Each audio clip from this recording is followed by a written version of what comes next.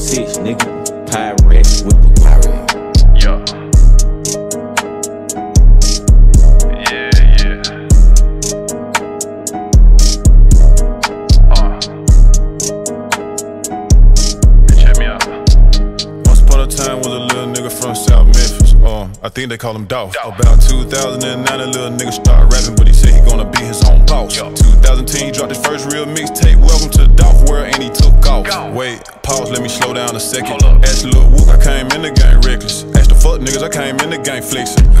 yeah, he came in the game flexing. I remember 2011, major label came at me and they tried to give me two mil. Wait a minute. I gave him a handshake, looked him in his eye and said, nah, but I'll talk to you in two years. Ask every bad bitch in Memphis, they gon' tell you that he smoked the best weed. And he got the sack. Them little nigga can't pull up like me. How? With a hundred niggas and a hundred racks.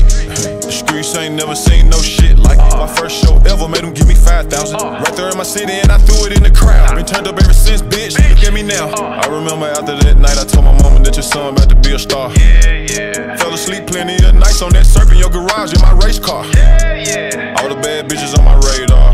Pull up at myself with the AR. Come through in the coupe like, hey y'all. That young nigga don't play dog. That young nigga don't play fair. Two million cash, but I don't stay there. Had the racks in the cage, never lay there. Like a daycare. I'm the one taught all these young niggas how to say fuck your big homie and go get you a plug. That's why you had all them grizzly players smoking all that gas and guess where it came from? Trap. Yeah, I bought all of the drips to the city. These little niggas wasn't even on this shit yet. I came in this bitch rocking Prada and Gucci and Dolce and talking about ownership, yeah. I just love stacking this shit up. I like how it look. I play with it like Legos. Stack it up. Full of that drink. I DM Rihanna told her let's go spend a half a mil on Rodeo. Real rich nigga. How you know you rich nigga? Cause I got rich niggas on my payroll. Uh, my little boy in kindergarten went to school wearing Gucci. Told his classmate, yeah, these my play clothes. Damn. It's a celebration, need me some ace. Somebody call Jigga, tell him that I need 50 caseloads.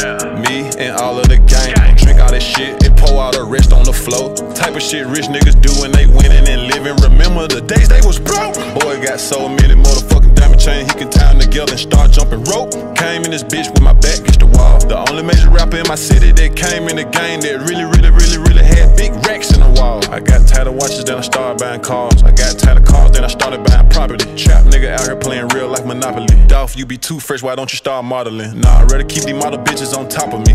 And Teddy rap nigga stop copying. I see you. On sixes on the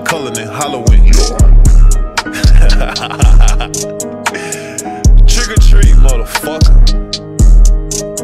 Every day though, real life shit, everyday shit, all fact shit, straight up and down.